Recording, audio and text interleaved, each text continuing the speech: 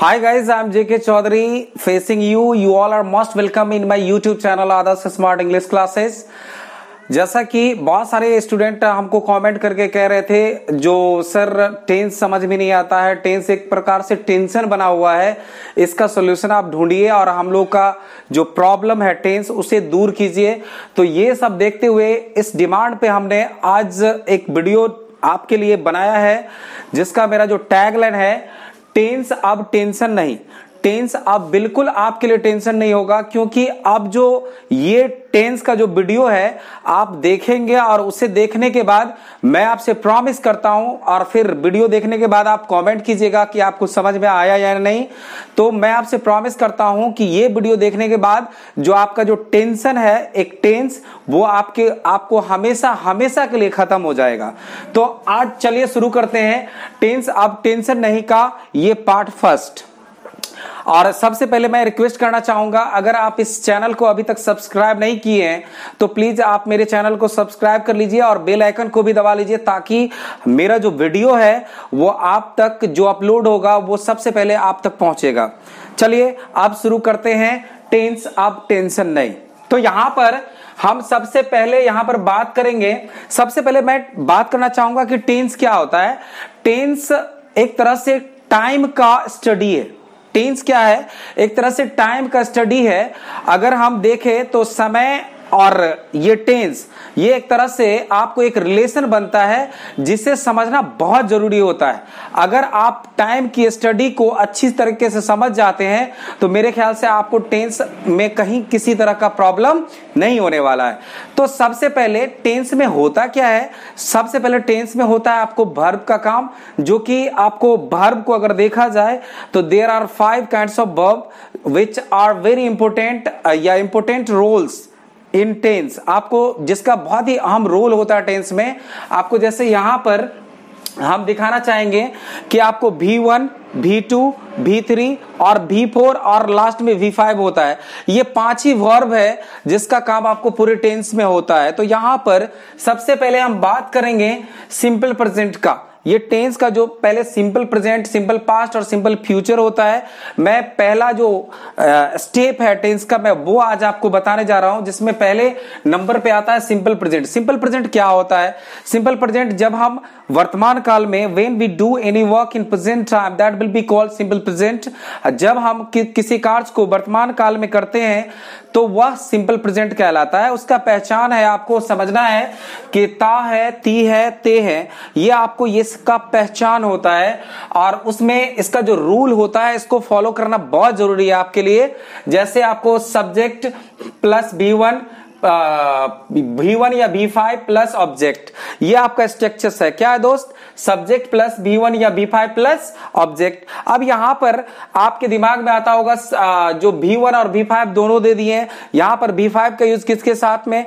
तो यहाँ पर मैं आपको बता दूँ बी फाइव का यूज़ करना है। अगर सब्जेक्ट की जगह पर आपको ही आ, सी और उसके बाद में फिर इट आता है।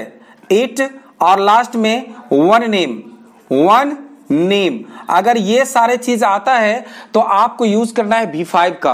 किसका यूज़ करना है? भी फाइव का। तो यहाँ पर हम देख रहे हैं कि सब्जेक्ट प्लस भी वन या भी फाइव प्लस ऑब्जेक्ट और बाद बाकी सारे सब्जेक्ट के साथ में भी वन का यूज़ करना है। ये सिंपल प्रेजेंट का है।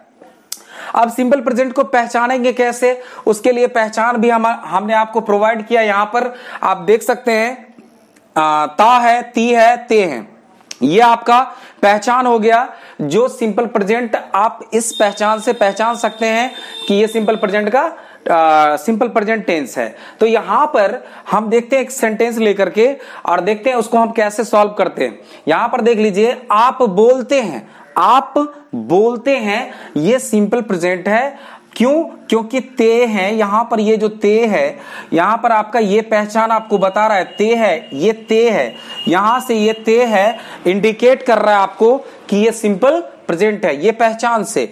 अगर हम इस तरह से पहले स्टेप में अगर आप समझ जाते हैं कि ये सिंपल प्रेजेंट है, तब हम चलेंगे इस रूल पे। तब हम कहा चलेंगे? इस रूल पे। और देखेंगे वहाँ पर आपको कि हम किस तरह से सेंटेंस का जो सेटिंग है, यानी कि स्ट्रक्चर के हिसाब से वो करना है। तो यहाँ पर सबसे पहले सब्जेक्ट है, आप सब्जेक्ट जानते हैं, यहाँ पर यू आपका सब्जेक्ट हो गया।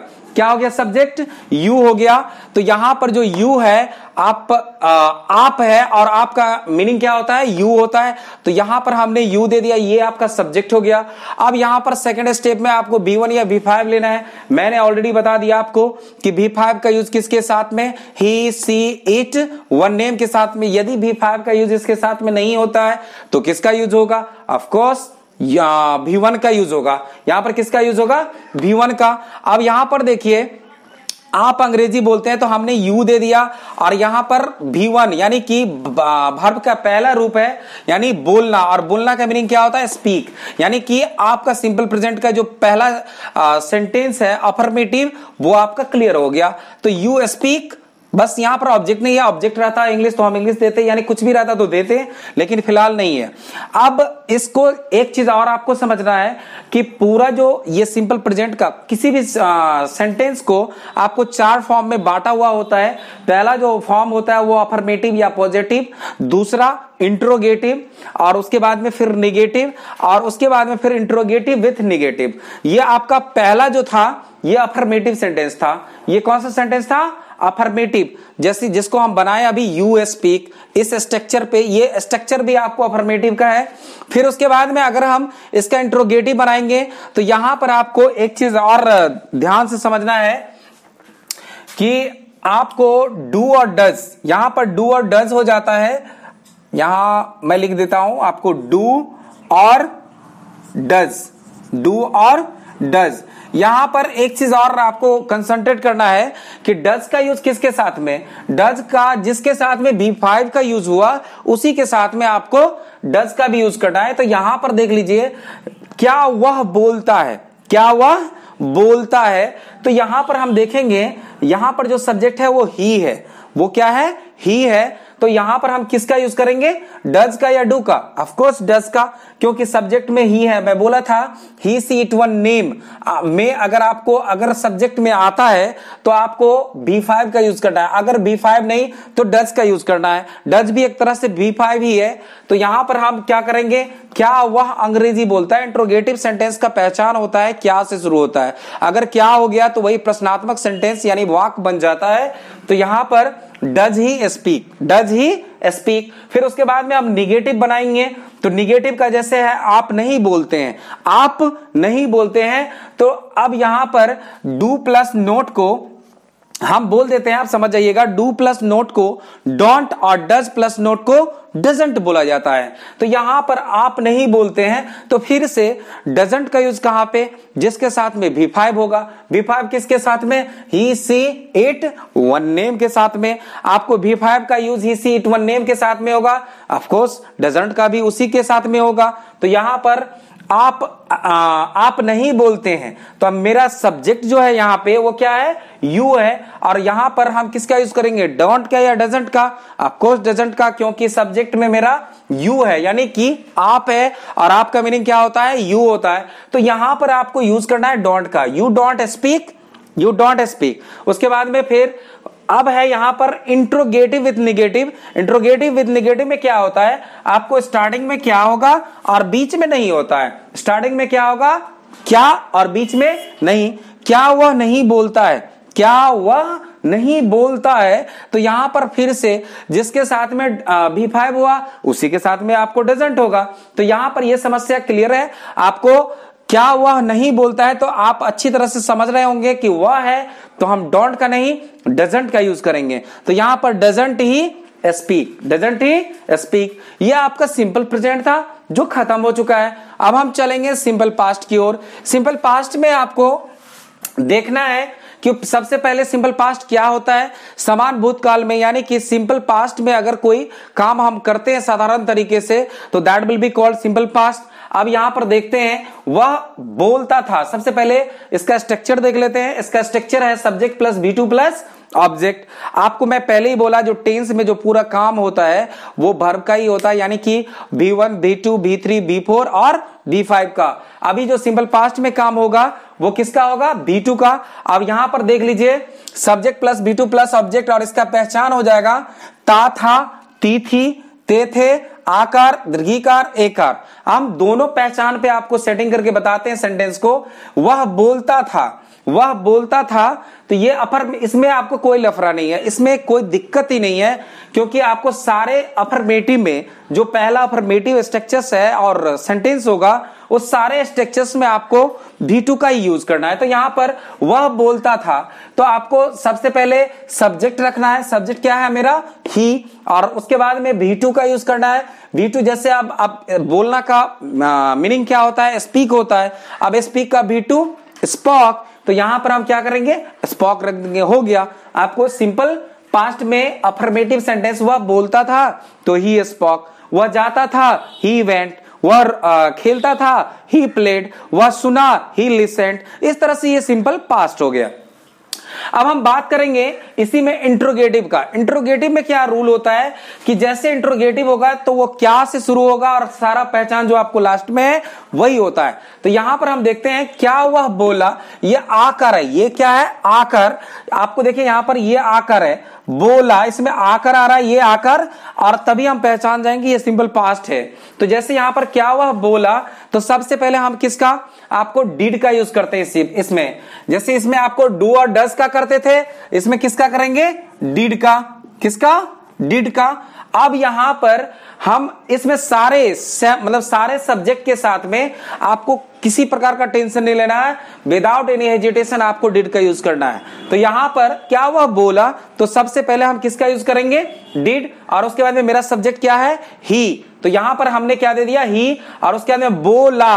बोला का, अभी आप, आपको बोले थे कि यहाँ अफर्मेटिव में आपको भी टू का यूज़ करना है। लेकिन जैसे ही इंट्रोगेटिव बनाएँगे निगेटिव बनाएँगे या इंट्रोगेटिव विथ निगेटिव बनाएँगे तो उसमें आपको यूज़ करना है भी का। तो जैसे क्या वह बोला? क्या वह बोला था, हम सबसे पहले क्या देंगे? डीड फिर उसके बाद मेरा सब्जेक्ट क्या है? ही और उसके बाद में भार्व भार्व का भी वन रूप देना है, यानी कि भार्व का जो है आपको भी वन टाइप देना है। तो यहाँ पर भी वन टाइप क्या हो जाएगा? स्पीक भी वन टाइप क्या हो जाएगा? स्पीक तो क्या वह बोला? आपका ये इंट्रोगेटिव बन गया। आपको क्या वह बोला? तो डिड ही स्पीक अब हम चलते हैं निगेटिव की ओर। निगेटिव में क्या होता है? कि जैसे आपको निगेटिव नाम से स्पष्ट है कि निगेटिव है। निगेटिव है तो यहाँ पर नाम से आपको जैसे सब्जेक्ट प्लस आपको डिंट हो जाएगा। जैसे आपको डीड है और डीड में अगर हम नोट जोड़ते हैं तो क्या हो जाता है? डिंट हो जाता है। क्या हो जाता है दोस्त? डिंट हो जाता है। सॉरी यहाँ पर डिंट हो जाएगा। अब यहाँ पर बहुत सारे लोग इसको डिडेंट भी बोलते हैं। कोई दिक्कत नहीं, आप बोल सकते हैं। यहाँ पर आप नहीं बोलते थे।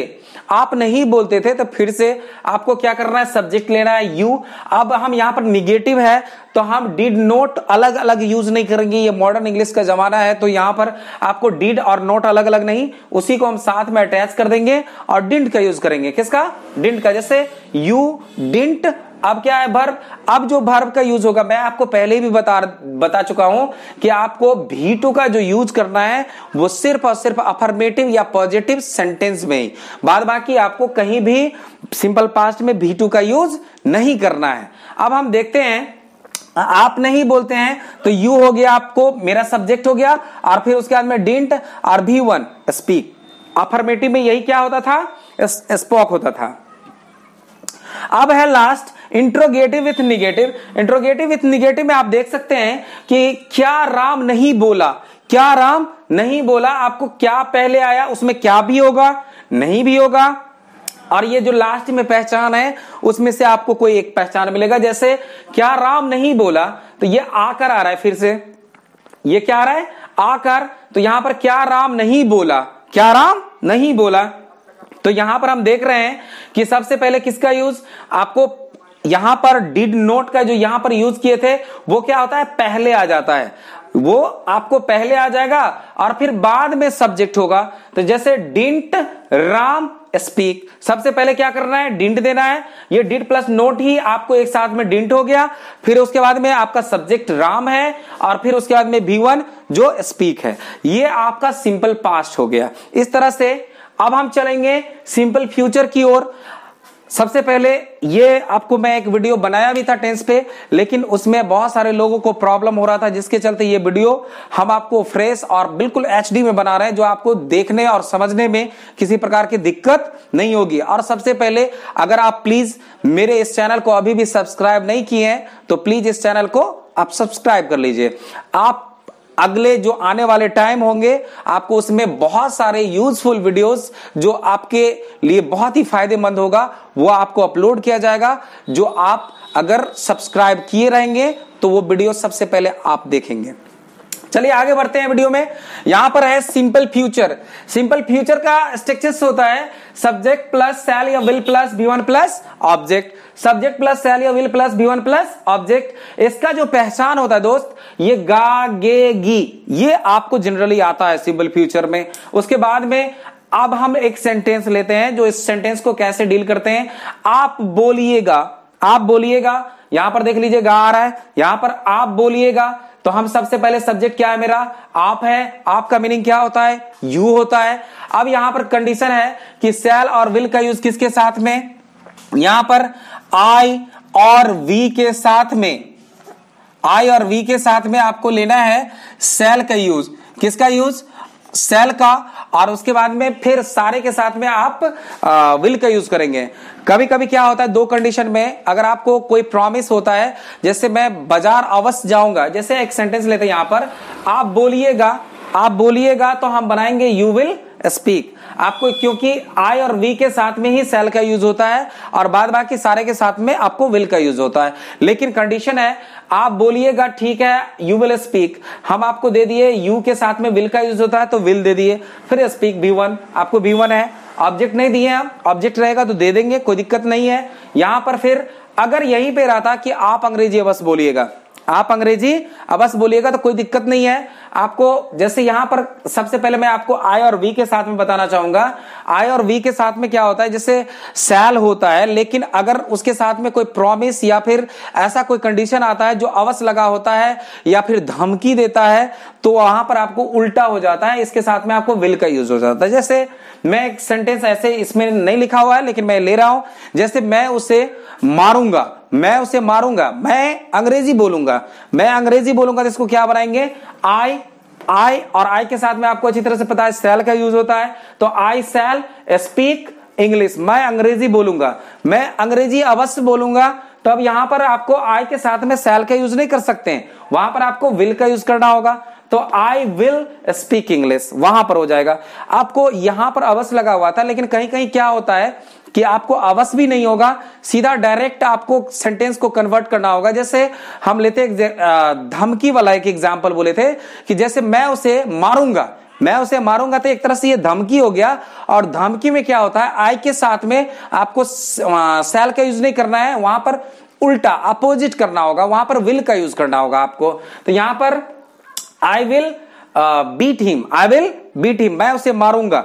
हम आई सेल बीट हिम भी बना सकते थे, लेकिन यहाँ पर आपको धमकी है थ्रिटेंड है तो उसके लिए आपको किसका यूज़ करना है? विल का, यानी आई विल बीट हिम तो ये आपका, ये तीनों टेंस आपको simple present simple past simple future हो गया। इसमें हम आपको सिंपल फ्यूचर में ये कंडीशन बताए कि आई और वी के साथ में कब उल्टा हो जाता है, यानी कि सेल का यूज़ होने के बजाय जो है सो आपको विल का यूज़ होता है।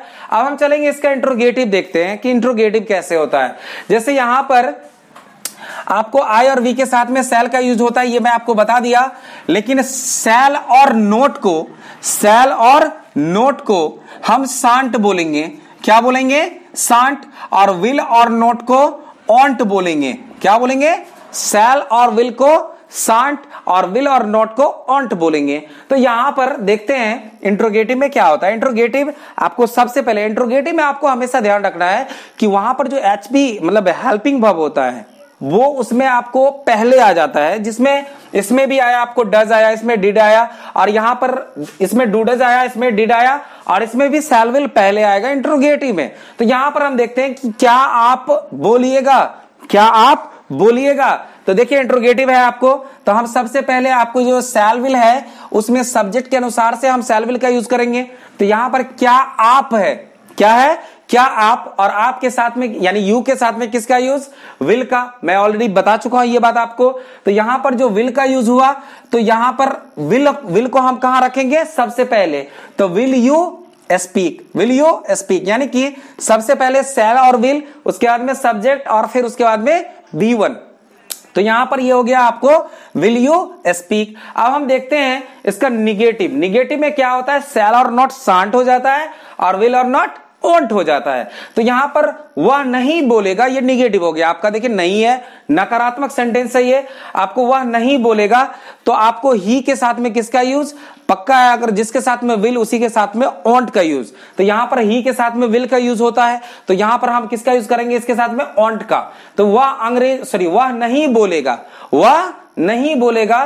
तो यहाँ पर हम सबसे पहले किसको रखेंगे? ही को। उसके बाद में आपको ऑन्ट यानी कि विल नॉट ऑन्ट को, और फिर भी वन आपको देख लीजिए, वह नहीं बोलेगा तो ही ऑन्ट स्पीक ही ऑन्ट स्पीक और उसके बाद में है क्या आप नहीं बोलोगे? क्या आप नहीं बोलोगे तो ये इंट्रोगेटिव विथ निगेटिव हो गया। ये इंट्रोगेटिव विथ निगेटिव हो गया। आपको ये सारा चीज़ मैं आपको इसी पार्ट में बता रहा हूँ। उसके बाद जो अगला टेंस का स्ट्रक्चर होगा, उसमें मैं ये चारों नहीं बताऊँगा, क्योंकि आप आसानी से समझ जाएँगे इसी पार्ट में। तो कोई ज़रूरत नहीं है आपको नेक्स्ट पार्ट में ये सब बताना। इसलिए इसे अच्छी तरह से समझ लीजिए कि किसी भी सेंटेंस का चार गो, चार फॉर्म होता है पॉजिटिव या अफर्मेटिव दूसरा इंट्रोगेटिव तीसरा निगेटिव और जो लास्ट होता है फोर्थ नंबर वो होता है इंट्रोगेटिव विथ निगेटिव इंट्रोगेटिव भी होता है उसमें और निगेटिव भी होता है। जैसे ये सेंटेंस आपको क्या आप नहीं बोलिएगा? देखिए, क्या आ गया? तो वो इंट्रोगेटिव हो गया, नहीं आ गया तो निगेटिव हो गया। इसी को बोलते हैं इंट्रोगेटिव विथ निगेटिव कोई चीज़ टेंशन लेने की बात ही नहीं है। तो यहाँ पर क्या आप नहीं बोलोगे? तो यहाँ पर सबसे पहले आपको सब्जेक्ट देखना है। सब्जेक्ट क्या है? आपका यू है। यू के साथ में किसका यूज़? विल का। और विल नोट क्या बनता है? ऑन्ट बनता है। और यहाँ पर हम सबसे पहले किसको रखेंगे आप? यू है इसलिए ऑन्ट को। अब यहाँ पर ऑन्ट रख दिए तो फिर उसके बाद में आपको क्या रखना है? जिस तरह से इधर रखे सब्जेक्ट, डिंट के बाद, उसी तरह ऑन्ट के बाद क्या रखेंगे? सब्जेक्ट रखेंगे। आपको ऑन्ट यू स्पीक। ये आपका इस तरह से पूरा जो simple past, simple present, simple past और सिंपल फ्यूचर था, इस तरह से आपका खत्म हो गया और मुझे पूरा होप है, बिलीव है कि आपको किसी तरह की दिक्कत नहीं होगी। अगर आपको किसी भी तरह का दिक्कत होता है तो प्लीज़ कमेंट में आप हमें कमेंट कीजिए। आपका जो सोल्यूशन होगा, मैं पूरी तरह से कोशिश करूँगा कि अब जो है, सो आपका जो टेंस वो टेंशन नहीं रहे। तो आज के लिए बस इतना ही। इस पार्ट में अब हम मिलते हैं। नेक्स्ट पार्ट जो टेंस का नेक्स्ट पार्ट होगा, उसमें अब लास्ट टाइम मैं आपको यही बस रिक्वेस्ट करना चाहूँगा कि अगर आपको, अगर आप इस चैनल को सब्सक्राइब नहीं किए तो प्लीज़ आप इस चैनल को सब्सक्राइब कर लीजिए। जो आप, आपका जो अगला टेंस का वीडियो होगा, वो जो अपलोड होगा, वो, उसका इंफॉर्मेशन आपको सबसे पहले मिलेगा। बहुत सारा प्यार मिला है आप लोगों का। तो मैं ये देख रहा हूँ कि बहुत सारा सपोर्ट मिल रहा है और मैं उम्मीद कर रहा हूँ कि आने वाले टाइम में और सपोर्ट मिलेगा, ताकि मैं उस सपोर्ट के साथ जो है एक्साइटमेंट के साथ आपके लिए नया नया वीडियो क्रिएट करूँगा। आज के लिए दैट्स ऑल थैंक यू